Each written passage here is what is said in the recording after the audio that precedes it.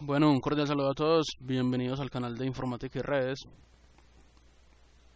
A continuación les voy a mostrar cómo se puede hacer enrutamiento estático a través de la serial y no usando el salto, o sea, la IP del siguiente salto, sino que cómo se hace un enrutamiento estático pero utilizando como interfaz de salida la serial y no el siguiente salto, por decir acá, como esta red sale de acá hacia allá o hacia otras redes simplemente saliendo por la serial 030 y no poniendo el salto de cada IP.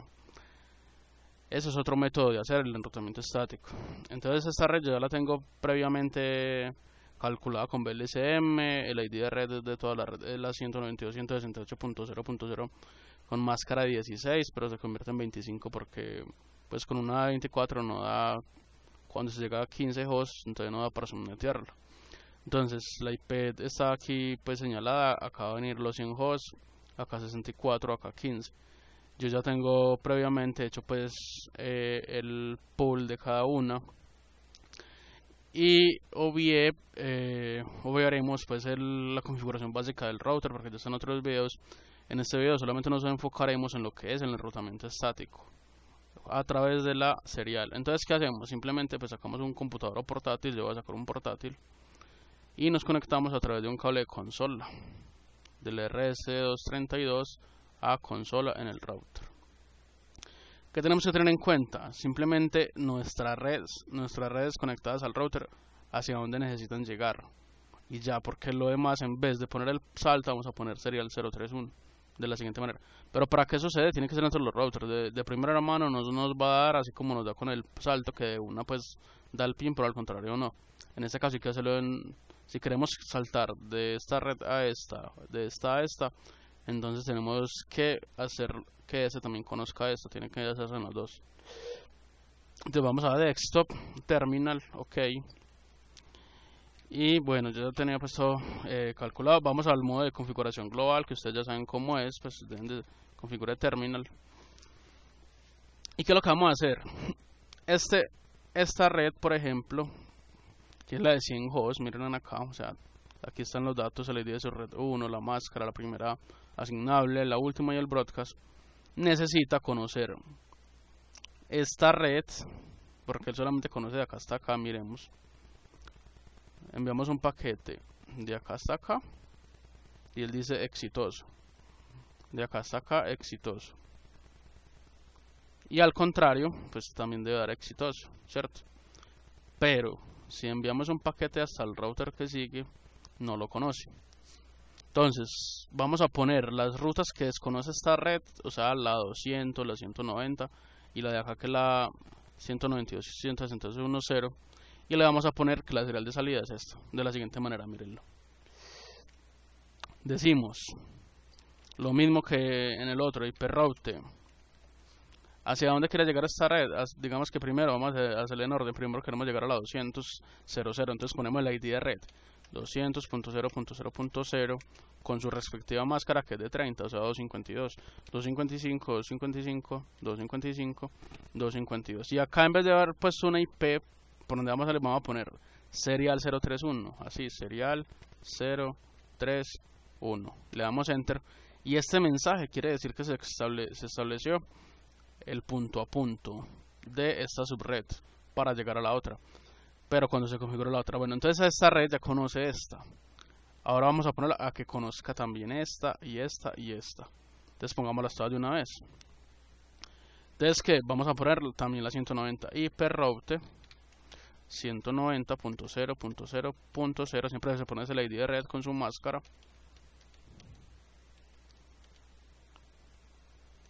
Y se pone el mismo serial, ¿por qué? Porque el paquete va a salir por esa serial, entonces ponemos lo mismo. Ponemos serial 0 3 1 y ahí se va a volver a establecer otro punto a punto. También queremos conocer esta, la de 64 entonces ponemos estos datos de acá, mírenlos. Decimos hiperroute ID de red 192.168.0.128 con la máscara 25 que termina en 128 255 255 255 punto, ah, perdón, punto 128 y salimos por la misma serial, serial 0, 3, 1 y se vuelve a establecer el punto a punto. Solamente nos falta conocer esta, la del último router. Entonces vamos a hacer lo mismo para esa IP router. Vamos para esta, o sea de 15 hosts está de acá. Y decimos ID red 192.168.1.0 con máscara de 27, o sea 255, 255, 255, punto 224 por la misma serial de salida 0, 3, 1 y le podemos dar dog right para guardar esa configuración. Nos vamos a este router y hacemos lo mismo hacemos exactamente lo mismo pero con las otras redes. Este necesita conocer esta conocer esta. O sea él ya conoce esta conoce esta y esta porque están directamente conectadas. Pero no conoce esta ni conoce esta. Entonces vamos a hacer lo mismo con este router para que conozca las otras. Para que conozca la de allá por ejemplo. Entonces acá salimos de ese modo de configuración y entramos al modo de configuración eh, perdón, sí, global y escribimos IP router ¿Cuál no conoce? Él no conoce la de acá, entonces vamos para esa. ¿Y cuál es la de ahí? La primera. Entonces decimos 192.168.0.0 con máscara de 25 o sea que termina en 128 y acá vamos a mirar acá hay dos seriales conectadas la de acá la de acá obviamente como el paquete va hacia allá entonces ponemos la serial 030 que es la serial de salida hacia el lado de acá entonces decimos serial 030 y se estableció comunicación hacia allá ahora vamos a probar que haya conectividad ya de acá, ya la debería haber porque ya tenemos configuraciones establecidas. Mire que ya tenemos conexiones exitosas de acá hasta acá también. De esta LAN a esta LAN también hay comunicación porque ya establecimos las conexiones punto a punto. Para donde no tenemos comunicaciones con esta, que es la que sigue que vamos a configurar también. Entonces acá le damos pues dog right como siempre, guardamos la configuración y nos vamos para esta y hacemos lo mismo. Ah, no, eh, perdón. Seguimos en este porque él ya conoce hacia allá, pero hacia allá no conoce. Entonces tenemos que poner esta también, que no la he puesto. Entonces decimos acá lo mismo. IP route. Y ponemos la de 15 hosts, que acá la tengo establecida. Mira, la miramos acá. Y ponemos 192.168.1.0 con máscara 255, 255, 255, 224. Por serial que, ahora sí, esta serial para llegar a ese paquete sale por la otra serial, serial 031, serial 031 y ya estableció comunicación hacia allá.